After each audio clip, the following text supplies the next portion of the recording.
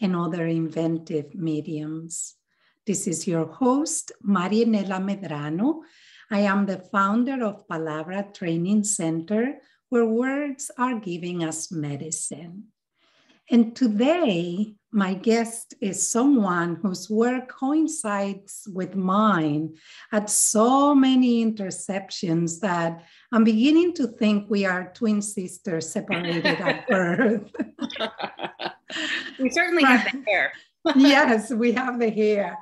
Francesca Maximé is a Haitian Dominican Italian American somatic psychotherapist, life coach, and embodied anti racism educator in New York City. She is also an award winning poet and author, former television journalist, and host of the Rerooted podcast on the Be Here Now network. She sees adults, couples, and families virtually around the world to support the emergence, eh, their emergence and well-being. You can learn more about Francesca at www.maximeclarity.com. That's an easy one to remember. Welcome, Francesca. It is an honor to have you here. Muchas gracias, Marilena. Yeah. nice to see you. Thank you. It's it's wonderful, wonderful to to have you here. It's uh, an honor and a pleasure. So this podcast is all about palabras, words. So let's start with what was your first encounter with words, with the palabra? When did you first realize that also? This is kind of two questions in one. When did you first realize there is a somatic language? Um, that's interesting. I don't know if they're the, you know, the right answer. That was my mom in the background. She's visiting, helping me do my taxes. Um, she sent me to Montessori school when I was young, and I remember that we would learn how to trace letters uh, in sand on little boards. And so a B, you'd feel a B with a uh-huh. sand B, and then you do Bob or Bub or Bib or whatever. And so I think that the tactile nature of the sand on the finger is a somatic process that is very sensory that they're tying in in a very organic way that now having studied the nervous system having studied all these other things that actually Montessori philosophy is rooted in, which is the relationality, the social engagement system, things we can talk about if we talk about polyvagal theory and Stephen Porges's work. But um, as far as words are concerned, uh, you know, I think if you if you go back to the uh, old sort of om or um or um, you know, these sort of ancient vibrations. You know, there, there's this old, there's a saying people will say words are vibrations in terms of how words sort of reverberate, meaning that once we name something, we give it power. And I remember as a news anchor, you know, I'm kind of going all over the place, but mm-hmm. as a news anchor, there was a whole sort of fight when I was a member of National Association of Hispanic Journalists and National Association of Black Journalists and whatnot, to really name undocumented workers as opposed to illegal immigrants, to really name, you know, what is happening as opposed to you know the framing. So the words do have power. Words are vibrations but those words back to the om to the um to the you know sort of this universality this vibration it's also a very sensorial experience in your body in much the same way that the sand is on your finger when you're tracing a little letter on the on the on the board.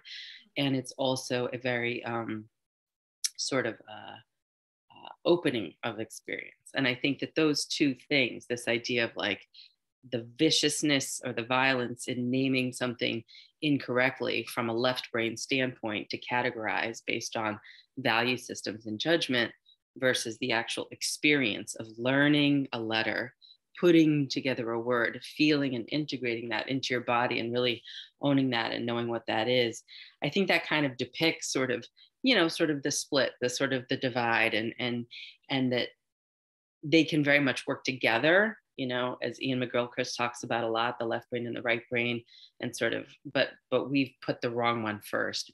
We've allowed our left brain to guide us when in fact our right brain guides us, and the left brain is the one that's supposed to do the, you know, sort of do the marching afterwards. Anyway, mm-hmm. that's a long sort of yeah our answer, but it's an opening anyway. Very rich, very rich. There is so much I can pull from that. Um, you know what you were saying, how careful we must be with words um, and how we use them. Do you think, will you say that then that somatic language gets louder um, depending on what's happening? Let's say after trauma, the somatic language then speaks louder than you mean that when you say somatic language can you clarify with me the, what the language of the body the the resonance the vibrations in the body right that might be I the body might be more sensitive yeah. right to well what's interesting is is i don't know that it actually is more mm-hmm. loud mm. or less loud i think mm. it's all adaptive and so if you're in a balanced equanimous nourishing securely attached environment then you're going to respond in a way that is quote unquote normal or balanced or not um, it's not going to be provocative in some way but mm-hmm. knowing that we're always adapting that our soma that our body or we're always adapting to the situation that's in front of us and that we sort of long after play out whatever that script or that programming is whatever that programming is long after it's due. What i think you're pointing to when you say you know is is is the somatic language the, la- the language of trauma is that more evidenced you know um, over time because of trauma? I think what you're pointing to is is that when we haven't gotten what we needed when we were younger do we still have the markers behaviorally in, in our soma that present as quote unquote negative or undesirable or you know challenging in our current life or problematic yes yeah. but i would say that those are just as adaptive to our history as our current securely attached behavior if our previous mm-hmm. uh, you know attachment relational you know styles were were were secure that those would be adaptive um, and those would be quote unquote appropriate so yes because they're protective responses yeah Right, right, right. Mm-hmm. So I guess I'm, I'm kind of, you know, I totally get your question. And so mm-hmm. the short answer is yes. You yeah. know, uh, the, the, you know, to the point of Bessel van der Kolk, the body keeps the score. And the, the, language of trauma shows up in whatever way, whether it's irritable bowel syndrome, mm-hmm. whether it's, you know, uh, a client was telling me the other day, you know, she was writing this email to her lover and it was like five pages long. And I was like, yeah, nobody's going to understand, you know, that. Mm-hmm. Um, Yes, and, and that's the thing that we see it in practice, right? Um, we see how the language of the body gets really um, loud. And sometimes it is our job to kind of point it out um, because even the person who's emitting the vibrations is not always um, aware of, of the phenomenon. No, because it's all they've ever known. Right. So, exactly. You know, it's it's it's almost like you'll hear a lot of folks. I think even my mom had said it. Um, you know, we grew up poor, but we didn't know we were poor because everybody was around. like you know, it's one of those things. Um, yeah. Right. We didn't think of ourselves as poor, or yeah. there was somebody else who like hadn't taken a bath and they were at mm-hmm. school desk and they didn't have clean clothes and we weren't mm-hmm. we knew we weren't we knew we weren't them so we mm-hmm. knew we mm-hmm. weren't that poor you know yeah. like but it wasn't like and and so i think that it that normalizing sort of um yeah that there's a real sense of uh if you've been traumatized if you've not gotten what you needed if you've had these adaptive strategies they're outside your level of awareness so a mm-hmm. lot of the mm-hmm. basic trauma work is bringing awareness to our experiences mm-hmm. and usually when you realize that in fact you've been playing out an old program script um, that has been very adaptive but isn't serving you today there's either a process of anger or grief and hopefully both and that's what it begins the portal to then being able to use that awareness to shift uh, through your intention, through your more deliberate action, and different habit formations uh, behaviorally, uh, a new a new understanding, which is a beautiful insight. Some people, you know, kind of flip a switch. You know, if you talk about memory reconsolidation in the right brain and neural synaptic changes that you know the neurons that fire together wire together differently from the way that they used to. Mm-hmm. Um, or if you talk about uh, you know just sort of the more slow planing of um, of a pattern to sort of integrate like making friends with your inner children that will often still want to act out or you know feel overwhelmed that can yeah. sometimes take time to cultivate those internal relationships right and i don't know if you um, agree in the sense that um, at any given point the vocalized language um, or the body language might be um, uneven and that part of the work of the therapist is to bring the equanimity to, to bring the balance um, so that when one is speaking the other one can kind mm-hmm. of echo uh, harmonize yes. in a way mm-hmm. yeah. yeah to be more um, i think the term you know coherent um, more integrated right. more yes. uh, more reflective of one another because you'll hear people say all the time like i don't have a problem or i don't have any feeling about that or whatever it is and i think one of the best things someone can do as a therapist uh, or a coach or whatever you are uh, if you're working with someone mm-hmm. is to be really in tune with your own um, whatever's happening with you so that you can mm-hmm. say you know joey when you said that you didn't feel anything about that uh, and you know that thing that happened with your brother or that you know thing that happened with your your, your sister whatever that fight you had with your wife whatever uh, i know that you said that like everything was fine and i heard those words everything's fine and i also noticed that your foot was tapping very rapidly, that the hands that were in your lap were, you know, were very tight or clenched, mm-hmm. or that there was something happening, you know, here with your with your hair. And I'm wondering if you have any awareness of the, you know, or or what your experience is of of how your body is responding when I ask you some of these questions, or that your voice pitch started to raise a little bit, or you know, uh, you know you you could you could as a therapist name what you're experiencing or what you're seeing but if that feels like it's too many eyes on the person and they would mm-hmm. get shamed or feel shamed mm-hmm. or embarrassed or feel too seen or something like that you know you can also invite in like as you're telling me about this are you noticing anything inside this mm-hmm. is the mm-hmm. somatic experiencing approach any colors any textures any mm-hmm. images come mm-hmm. up when you think of your mother or you think of your wife or you think of whoever you had this fight with and you're telling me things are fine i'm wondering as you're saying those words things are fine what's happening for you inside and sometimes people are completely you know alexithymic dysthymic and they don't have a connection between no.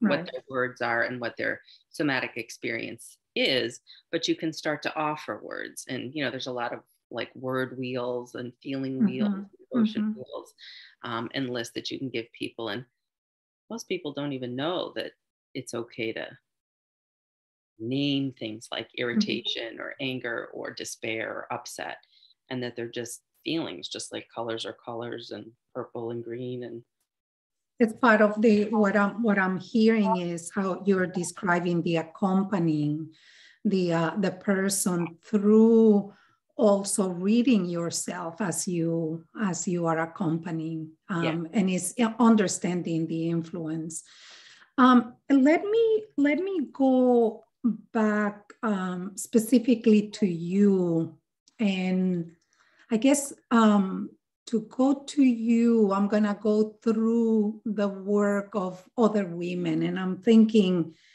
um, you know, Gloria Anzaldúa, um, Maria Lugones, and Mariana Ortega, just to name three women who had worked and shaped Latino or Latinx feminism. And a, a kind of feminism that, it, that has been built um, or conceived from what Mariana Ortega calls the multiplicitous um, self or identity, a self that is embodied and has a foot in reality, in many realities. And as you know, Anzaldúa wrote widely about mestizaje as happening at the intersection of many realities, but view from the um, kind of earth body based uh, vantage point. So I'm bringing their work here to see if you can bring us into what your experience has been as a you know a very multiple um, or um, yeah multiple experience with mixed uh, racial background and what i'm curious to know in that variety of your background how has if if it has whiteness has impacted your encounter with your other parts mm. um, and perhaps think of this question from the somatic embodiment perspective in the sense that do you switch codes depending on the environment depending on the safetiness or well, I know that that was a long. no, no, yeah. I'll answer the back part, the last part 1st mm-hmm. I mean, code switching for sure is something that I used to do a lot more than I do now because I used to be mm-hmm. on television and before that in corporate America, mm-hmm. and um, and I think you know there was uh, a lot of code switching that had to take place to be a television news anchor or television news broadcaster. I remember they would always tell me, you know, you're gesticulating too much your facial expressions are so expressive your jewelry is too big your makeup is too heavy your your thighs and hips are too large you need to lose weight you wear too many bold colors or patterns or whatever. And that was a real thing in terms of you know you can't wear your hair curly you have to wear it straight you have to wear it whatever it is. And um there was so much of that that you know over time it just got to be very very taxing and toxic mm-hmm. um, that eventually I, I just, you know, for that and for a variety of other reasons, I didn't want to do it anymore. Um, and so, yet, and yet, excuse me, that was part of all, part of my own personality, is part of what they liked about me, I think. But it was also part of what they really wanted to contain. It really depended on the context. Um, you know, they would have much rather had you be more uh, in a box you know like now we're all mm-hmm. in a mm-hmm. box because we're all living on zoom and so but this is the world i lived in prior to that you know what i mean like right. the world that was pre-internet and i was on television i already lived in the box now we all live in little zoom boxes we're all the brady bunch here um, mm-hmm. but so in that way uh and and i remember i even when i think back to my days in fortune 500 companies in corporate it was the same. I was a 25 year old kid working in Fortune 500 company, you know, wearing nice clothes, but like maybe my skirt was a little bit short or something. And I had no awareness of like the fact that like, you know, people were going to harass me or give me a hard time or whatever it is, or, you know, and that was, it just wouldn't have occurred to me that that was quote unquote inappropriate or, and, it, and I don't even know that it was inappropriate, but it was inappropriate to them in, you know, the heartland in middle America, Ohio, where I was working at the time. Um, in terms of the somatic piece around my multi ethnicity, mm, I mean, my background, I didn't grow up really as much with my Haitian Dominican background, although I was influenced by it. And I never thought of myself as multiracial or biracial. I always thought of myself as just a multi ethnic person growing mm-hmm. up. It's always how I identified. I never identified as someone who was Black or who was white or who was Hispanic. I just always said that I was a multi ethnic person. And I grew up with my Italian family in a white, you know, sort of town with my, you know, white you know, school friends uh, until the time I was, uh, you know, 18 and went to college. I really didn't have a lot of exposure outside of the occasional trips and visits to my father's side of the family, um, who he was Black. Uh, I really didn't have a lot of exposure to my more um, Haitian Dominican side. But over there, it was definitely a different vibe, a different feeling. And there was so much trauma in those rooms from, you know, the variety of factors that led to my grandmother leaving the Dominican Republic and, you know, coming to the United States and leaving half of her kids behind, taking her other kids with her, the whole thing, getting a divorce, you know, like when all the all the stuff, all the violence those kids endured, all the violence that my father carried forward, um, that there was both a joy and a sort of sense of like music for sure stands out you know um, the suppleness of music uh, the, mm. the, the you know the beat and sort of how i always had that sort of intuitive sense my flavor for language i think was developed even though i wasn't fluent in creole or french or spanish i learned a little bit more french later and a little bit of spanish but it was in my body in that way because I think my ear had been trained. My mom had also put me to music school. And so I was studying piano and things like that, and art school and dance school. Um, but I think that my my sort of sense of myself as a intersectional, you know, uh, mixed ethnic, um, I call it white adjacent person uh, was very much always informed by my more, you know, sort of Haitian Dominican heritage. And sadly, my Italian American heritage would have been much more three dimensional or multidimensional also had they not taken the root of whiteness, had they not had to take the root of whiteness, but did take the root of whiteness because assimilation was the name of the game. And that's the game that they agreed to play when they chose to come over, you know, because in my Italian family, uh, it was poverty, you know, the father died, there was no money, people took the boat over, they went through Ellis Island. They were electing to come, but they were saying, okay, well, I'll pay the price. They said, give up our language. We won't speak Italian at home. They said, you know, don't, you know, eat these things, eat those things, you know, and I mean, they might have cooked some Italian meals, but it wasn't, it wasn't like the focus of the way that now you see Italian Italy is sort of celebrated in a way again, where, you know, eh, they lost so much. Um, and so, and yet, you know, my grandfather was still pretty embodied also danced, sang, gardened, literally had his hands in the earth. So that's, you know, my Italian side that I kind of connect with from a body sense. And that sense of earthiness, when we talk about soma, the smell, they say the oh. smell, the olfactory sense is really the first and primary and oldest sort of way. You get most of your information now through your eyes, the visual, which is why your imprinting and images are so much part of our traumatic memories. But um, but that our smell is really the kind of oldest. And I think that that is something that I got from like my grandfather's side of the family and how he was and, and that kind of thing. So my my body has all of this in it. It has the music, it has the language, it has the disruption and the cut offness. And I sense that in myself.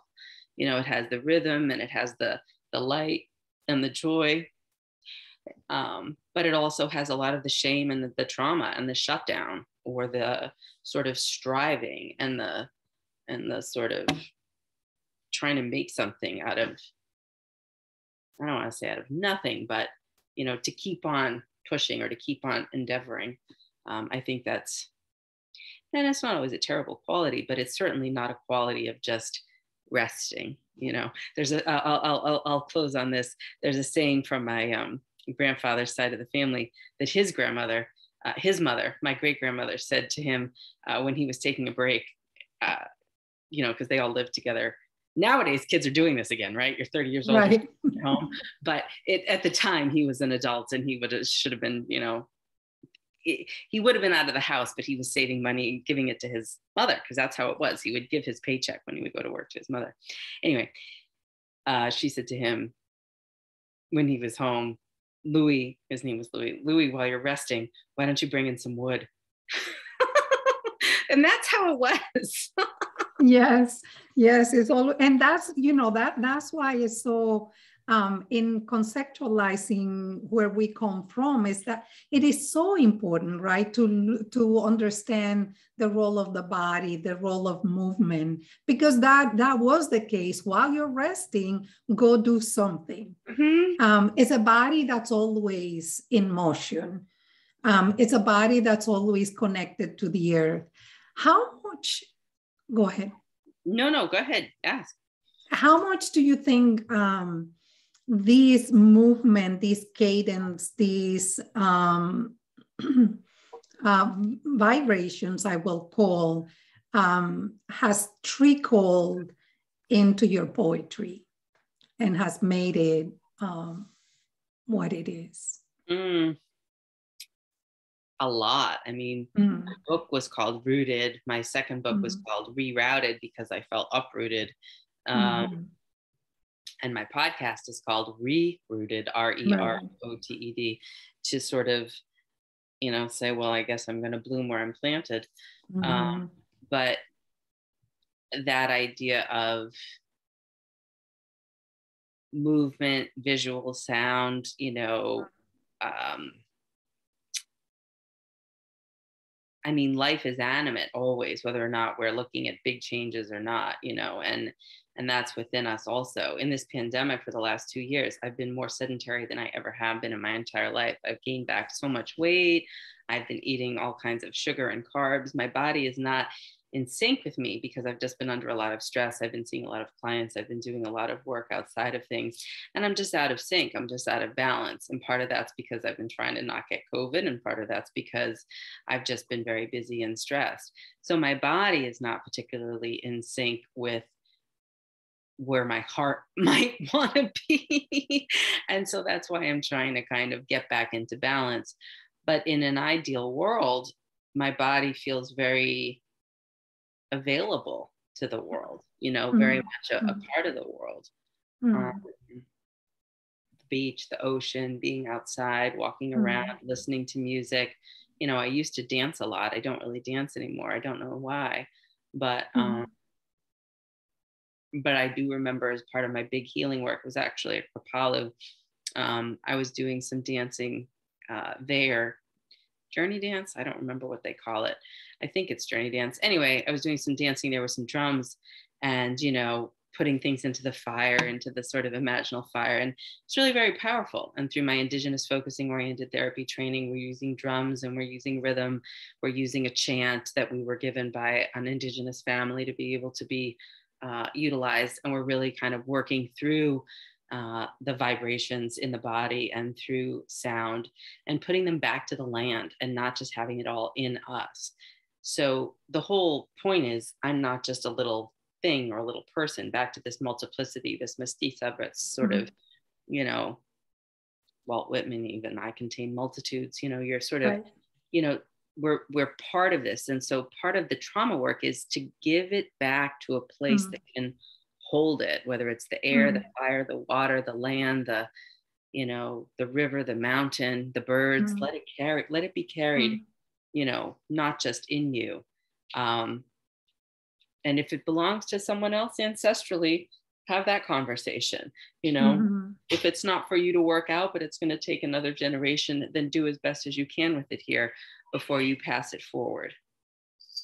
Yeah that is that is you know and i'm thinking um, don oscar santillan was talking um, the other well last night actually he was talking about the importance of limpias and the importance of i was saying to him that that in buddhism it's what is called the pursuit of the emptiness right? The getting to the emptiness and the and the the uh, integration with all that is um, through the emptiness. And then we do it also through the limpias, through the emptying out so that then some some what is valid can come in. So i'm so glad that you're using some of these resources to help people. I know that one of the there are so many things that i want to talk to you but uh, we have another half an hour. I know. Um, I know that you do a lot of anti-racial um, workshops and training. So um, my question I know you also, in the same breath, talk about humility and compassion. How do we hold anti racial conversations from a place of humility and compassion? What are some of the um, the main um, considerations that you invite people to entertain when doing the, the, the work that is so taxing. It's so exhausting. I know. That's why I'm so fat right now. Although I'm not, I mean, listen, I'm totally body positive and I'm, you know, I'm, you know, I have many, eh, the, the, the great thing about turning 50 is, is you start to give a, a lot. Right. You know what I Fill mean? Fill in the blank. you, sort of, you know, it's a lot more just like, listen, I am what I am. I think as Popeye said, um, mm-hmm. and and I've been you know at war with my body and myself for a long long time from all the programming and all the messages that I've gotten over the years in my family outside of my family culturally you know the whole kit and caboodle. And really it's it's for me a personal choices around my health in terms of what you know what do I think? Do I want to you know what can I do to for whatever it's worth maximize the health that I've been given. And I don't think mm-hmm. that I'm doing those things right now because I don't physically not moving as much and stuff. Um, but to answer your question, so I just want to say, you know, to the degree that I am totally an ally of of uh, of that, but you know, I am. I, am sort of feeling a little bit more round than I want to feel. um, the oh, I mean, this whole idea of anti-racism work, you know, you mentioned Buddhist Buddhism and Buddhist psychology and stuff like that. The whole point of Buddhism, uh, Buddha, not Buddhism, the whole point of the teachings, the discovery, the insight is that we have obscured seeing. That are and and that's another way of saying to translate that we are programmed by our imprinting, by our experiences and that that could be our epigenetic intergenerational ancestral experiences that could be our immediate attunement attachment related you know secure insecure avoidant ambivalent attachment you know sort of relational experiences with our early caregivers. That could be our social environment and our indust- and our institutional systemic you know programming in terms of whatever uh, structures are in place that either do or don't make certain things available to us in you know more or less numbers whether it's food clothing and shelter or bank loans or you know whatever uh, certain kinds of scholarships or you know job opportunities that these are all things that we that we receive mm-hmm. and we don't get to choose what we receive. We get what we get when we're born. and in that way, that's kind of like you could call it karma, but you could also say that it's it's um, you know, when I came out of my mother's womb, I I didn't choose. Well, at least I didn't consciously choose. I don't know. We could have another conversation about you know sort of who gets to really be here and and why. Um, but I, I at least to my knowledge, I didn't I didn't choose you know to come into the world when I did or under the circumstances that I did. But that being said, when we do get here, when we are here, we are, as I said earlier, as human mammals, very adaptive creatures. Our nervous system is going to respond to whatever our environment is. And when we live in a racist society, because whiteness has been constructed as a uh, currency for giving white people in the United States uh, greater status, even though more white people are you know on welfare than black people in this country you know more even you know that that this is a that this was and is a way to kind of have social privileges and access um, because I don't think the United States could ever really fully recognize, reconcile what has been done. I mean, you can't really look at the idea of chattel slavery and forced migration uh, unlike my grandparents who were Italian that came over, you know, uh, of African people to the United States in 400 years of, uh, you know, of enslavement, exploitation, and and and abuse, along with indigenous uh, folks on Turtle Island, genocide and, and land theft. And mm-hmm. you can't live with that without having a sense of moral injury. So if you're a colonizer mm-hmm. and you're fleeing, say, Northern Europe because of the medieval barbarism, and you're fleeing poverty and famine and, and things like that over there, or really preceding that, it was really the church uh, that said, you know, manifest destiny, the doctrine of discovery, Pope Nicholas, and all these things that basically said people who don't have white skin don't have souls. But really, they just said, let me use this as an excuse to come forward and just take all your gold and take all your riches and take all of your culture and, and pretty much rape the land and do whatever we want to do so that we can have more. That's greed, back to Buddhism, one of the roots of suffering, craving more, more, more. You know, it's never enough. I, I have this, I need more that this becomes a moral injury for those who carry trauma who have white bodies and it becomes a intergenerational trauma of um, i just think of of having to live in the current reality of continued system systemic uh, institutional and structural racism uh, for everyone else. And all of that is to say that when i'm teaching anti-racism work I'm inviting people who are in white bodies or white adjacent bodies or white passing bodies, or we talk about shadeism and colorism, we talk about raza, we talk about all of these things in terms of who gets to be passing, who gets to be white-ish. Um, anybody who has those privileges based on this currency, this false notion of, of, of certain people are better than others or certain people are more deserving than others I mean, we're starting from this place of basic goodness from the Buddhist standpoint. We're talking mm-hmm. this place of everybody has value and worth, period. Um, every being does, but every human does in particular, even though there were laws, obviously, that denied women that, Black people, you know, the whole thing. Um, that the reason why humility is so important for white people is because shame is narcissistic. People who feel bad feel like they're doing something good by Huh? I love that shame is narcissistic. Well, it's a child state of self-involvement. Absolutely. No, no, no. Yeah. It's, it, it's a child state of self-involvement around the idea of I can only see the world through how how bad of a person you know we, we've seen the opposite we've seen how we've seen how shame is grandiose and shame is is is is narcissism is grandiosity is what you know we sort of live through four years of that, you know, of of what that means to have everyone else be the problem, right? And and but the, but but when I'm the problem and it's only me, I have contempt for myself to such a degree that I can't be in tune with anything else. I can only be defensive, or I can only shrink more, or I can only sink down more.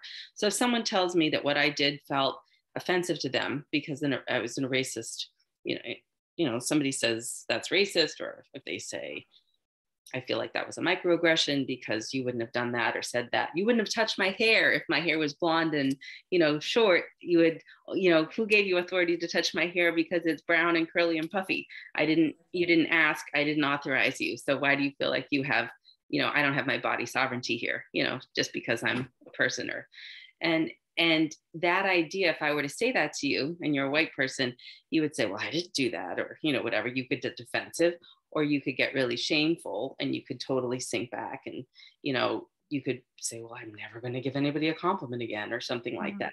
But who is that about? That's about you. It's not about the other person. So individual racism and individual race he, healing from racism anti-racism efforts is being able to hold yourself in positive warm regard regardless and take in what the person is saying around the idea of it was offensive to them and this isn't pc you know, people don't have a right to free speech. This is, I'm relational. I care. I have compassion.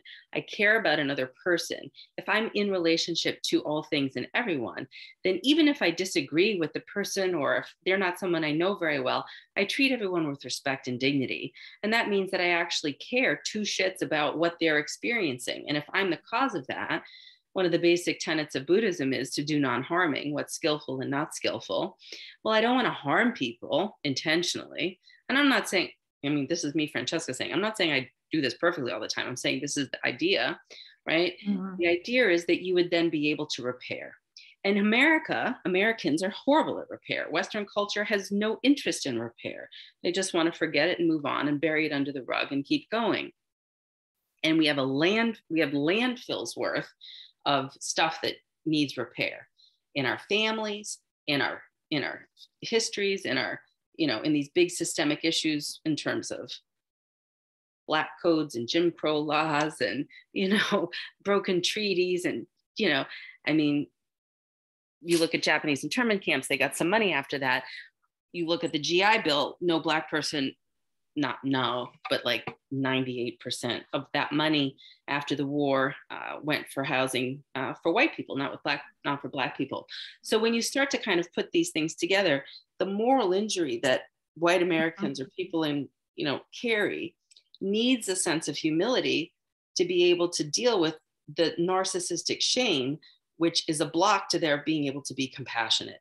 And when you can be compassionate and you open your heart, then you can kind of look at the structures and you can see, well, I've been hoodwinked too. I've been bamboozled too. I thought that it was not even a big deal. I didn't even know that I had all mm-hmm. these invisible backpack privileges of being white or white passing. And wait a minute, you mean to tell me that we live in a world where people didn't get this or that or you know like i thought slavery was over i thought and then you can begin to say like well now i have righteous rage moral outrage then i can really you know it's like Thich Nhat Hanh sort of active engagement you know dr mm-hmm. martin luther king sort of mm-hmm. active engagement around how i become an you know an involved person around this uh, embodied anti-racism i live it i think it i feel it but i actually do stuff about it and that is the heavy lift because there are the policies that need to change institutionally and then there's the things at an individual level and you have to find your lane i think and you can do a both mm-hmm. and or an and and so you can work to vote in right people like stacey abrams and you can try to block gerrymandering and things like that but you can also sort of look at your own stuff on a daily basis to say well, where am I being discriminatory internally to myself or externally to others? Because we've all, we're all racist. Let's just name it. We are all racist. How could we not be? We were born into a racist society. Now, if you're aware of that and you can act to change that and electively and deliberately do something different, good, then you're an anti racist racist, as Ibram Kendi says. That's what you're looking for. Yeah. So it, it sounds like the humility and compassion are um, kind of ushered in through self compassion first, is what I'm hearing you say. That in order for that person to move, they have to turn to themselves and find some way to um, muster some self compassion and understanding of their own predicament. Mm-hmm. Yeah, most people, most people that I've seen be successful at this work through the trauma of my alcoholic father, Correct. my bipolar mother, right. my, you know, my uh, sexually abusive grandfather, my uh, you know, uh, gang ridden, you mm-hmm. know, neighborhood or whatever it is. They work through these things first and couple it with a systemic awareness of, oh my goodness, I didn't know what 40 acres and a mule meant. You mean the people who were enslaved who got that had it for like a few years and then it got yanked back and the money went back to the landowners in the South who were the original enslavers because they were getting uppity? Oh, I didn't know that. Now that I know that and I've worked through my personal trauma, I can see the roots of where this inequity, you know, keeps coming. But you need the facts, but you can't put the facts on intellectually, which is one of the problems that a lot of people have had. They know the facts, but they're not, they're still inside, they're grappled in their own shame because they still have these false core beliefs that they're not a good person, basically, which is bullshit. You know what I mean? Yeah. You just have and, programming. I mean the belief is a real belief but well it's it's, it's but it, but it's fake news. Yeah right right. It's what reggie mara um, talks about these uh, cultural givens that are trickled into our lives and our um, and shape us. And in order for us to get to, to begin to do this work, we have to know what the givens are, mm-hmm. what we were, um, you know, all the gifts that were put in our cradle, um, and then the ones as we as we grow up. So it begins there. So in the same in this same vein, um, collective healing is one of the themes that runs through my work and through this podcast and through your work. So you you have a proposal for embracing and facilitating collective mourning. Mm. and i just wanted you to give us some ideas of how you um, facilitate that for people the the processing um, because that is what's needed. I mean that's what you're saying. It's like we are all in this together. And you know when i think about my grandmother's hands um, i think uh, that uh, Resmaa um, was able to capture things um, you know the, the, the length of the cloth as uh, the poet say, uh, Naomi Shihab Nye says. Um, so this is collective injury, injuries. There and and there has to be a collective healing. Mm-hmm, mm-hmm. So tell us about collective mourning. Well, I mean, we, you know, it's been said that the um, idea that you're both exceptional and not special is is, is sort of a, the paradox that people have you know right. difficulty with that yeah. that you can be unique and also um, what many might say suffer from but i would mm-hmm. say celebrate with a common humanity right mm-hmm. that there mm-hmm. is that there is that and that there's there, there's rest in that you know that there's that mm-hmm. there's um a sense of being held in that mm-hmm. in, our, in our mm-hmm. common humanity.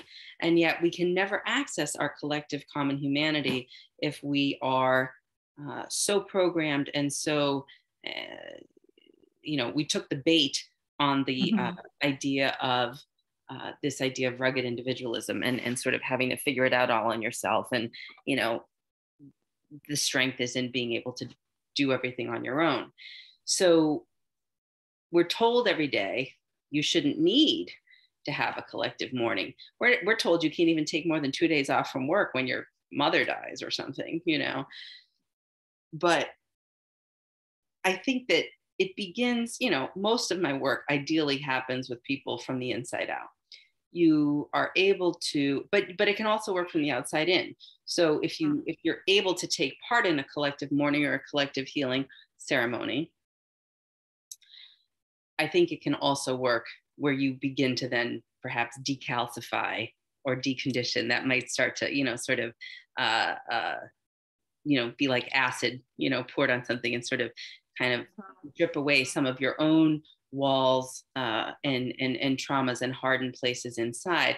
But as far as ritual is concerned i mean there are oh my goodness um, as far as um, of course, there is a ritual. There you go. Exactly. She's so that's funny. it. She's so funny. That's penny. She's like she's very much uh, she knows. She knows. She was like don't you know here? Here is a collective a way to do the collective that's that's true.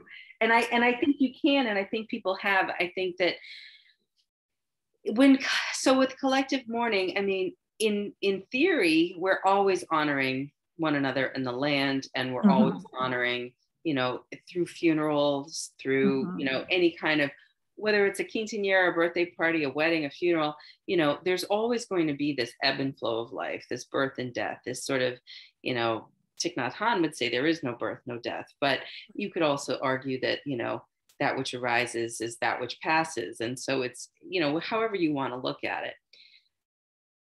What am I trying to say here? You have to grieve your own history around what you didn't get and what wasn't what you wanted and what wasn't what you needed. And you have to know that you're not still that little five year old or 10 year old that was abused. Because if you're here talking or neglected, because if you're here talking, then you're here. So there's some mm-hmm. part of you that made it. And that process of starting to heal that opens us up to being able to recognize our common humanity, which then can set the groundwork and the scaffolding and the framework for a strong, in my opinion, for a strong tapestry of what would be collective mourning, whether it's a sorry day, whether it's a truth and reconciliation project, whether it's restorative justice circles, whether it's uh, family therapy where you work on repair in terms of misunderstandings within the family, you know um, if you do genograms if you're a therapist and you go back in the family line you'll discover that people who committed suicide and people who you know lost the you know millions of dollars and you know that there can be a collective mourning around this is our inheritance. And also this is how we're working together to kind of actively engage in creating something new or allowing something new to be born that we're able to grieve this process of what was and open to something new and that we can be in communication with our ancestors and we can be open to you know who as i said earlier is has yet to come. And that may be in a human form or a spirit form or it could be in an animal form or a land form or a water form or something. But i think these rituals sometimes when you see someone like kobe bryant die or you see someone like you know um, virgil abloh die or you see someone like uh, uh, you know I remember I was working in television when um, Maya Angelou died. Uh, you know, there is a process of, and Thich Nhat Hanh just died. Um, you know, there's a there's a process that people can go through of engaging in collective mourning in that way about a body's passing that can help us root together in our in our strength. But from a deep level, from an anti-racism level, I think this idea of mourning the fact that the way we live kills us and, mm-hmm. and recognizing that uh, and recognizing that out of that acknowledgement and that mourning and that grief a new imagination will will emerge uh, and that we have you know one another to to hold one another in that and to sort of inspire one another in that i just don't think it's the way that we've been taught to think that much anymore um, but to invite that, I think again is is important, and to create them, to create those rituals in your communities, in your neighborhoods, with your schools, with your churches, you know, um, with your whatever it is, uh, to create them. Yeah, I like that you're saying to recreate because if we go back to the um, ancestral wisdom, these collective um, way of celebrating and mourning and doing all was there. So I thank you so much for giving us an insight into your work, the beautiful work that you are doing, and and also to exemplify, to embody what um, spiritual activism is, because that's what you are doing out there. And um, and just through through your answers today, you gave us um, very uh, graspable examples of that and how the journey has to go inward to then mushroom out. But it has to we have to go through the i to the we. Yes and and and i should also just add that even if you don't want to dig dig dig in if you mm. can at least stay open enough to allow what mm-hmm. might be trying to reach you to come in. Mm-hmm yeah. I do believe that, right? Yeah. Like be yeah. open to allowing that. And to just say one final thing about Thich Nhat Hanh, he was mm-hmm. depressed mm-hmm. and sitting there talking to his mother, sitting at the moon, looking at the moon. And mm-hmm. one minute he said, Oh, that's my mother there. My mother is the moon. So he went from being depressed and lonely to feeling very connected and that she was still right there. And right. so he was open to receiving yeah. her there as yeah. the moon to come in. So he, you know, so I mean, he's clearly this great you know teacher. he was i mean i'm still mourning um i i listen to him every day i haven't i had to stop for, even though he encouraged us not to mourn but i was mourning and i just yesterday um, was able to get myself to go back to listening Um, but what a gift! What a gift! Both him and you. So Well, thank you. thank you, Maria. Thank you so much. And uh, one last thing, how um, we said your website. Yeah. Um, what If else do you want people? me. Yeah. if, if anybody wants to reach me, they can just go to my website, maximeclarity.com, M A X I M E C L A R I T Y.com. It's just my last name and clarity. And um, I work with adults, couples, families, uh, individuals, groups, and um, organizations uh, in the best way that I can to help support change. And so if you, you know, want to reach out, you can contact me through the website. Beautiful. Thank you so much. And thank you for listening to what a word is worth. We can um, you can access today's interview and um, all the others through Anchor or YouTube. And if you are interested, hit the subscribe button in your podcast app. And also, if you find our program beneficial, leave us a review. I am with you in love and compassion always, always, always, always.